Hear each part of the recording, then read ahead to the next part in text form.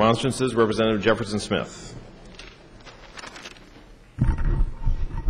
Thank you, Mr. Speaker. I know the hour is late.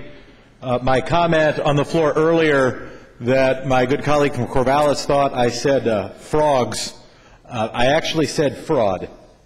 Uh, there were rumors today that the governor was nervous about passage of the water bill that Representative Jenson and I, Representative from Umatilla County and I, have been working on, worried that it wouldn't pass because a very strong coalition of users was opposed.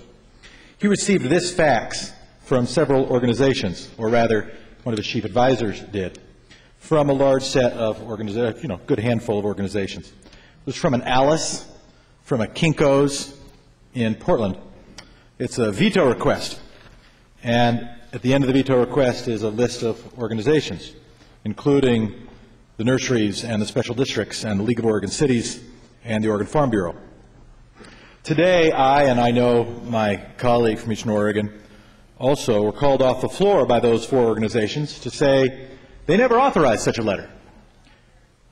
They didn't sign it, they didn't affix their logos to it, and they certainly did not send it to the governor's advisor.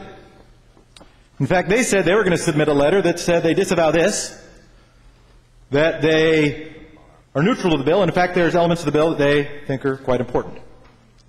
That's why I was off the floor today.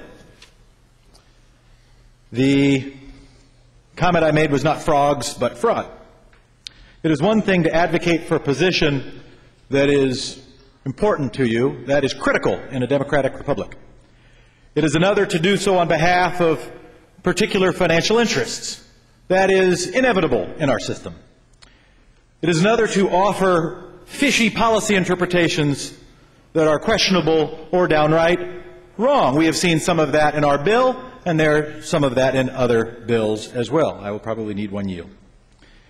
It is another to ply members with trips and drinks. It is another to send inflammatory mail pieces with pictures of burning homes and threats of burning babies and faces of members. It is quite another to send outright falsities with fraudulently written names. I hope that we will stand against that this session and frankly stand against it on this bill.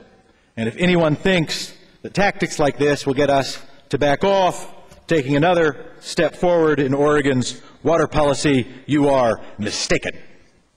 Thank you, Mr. Speaker.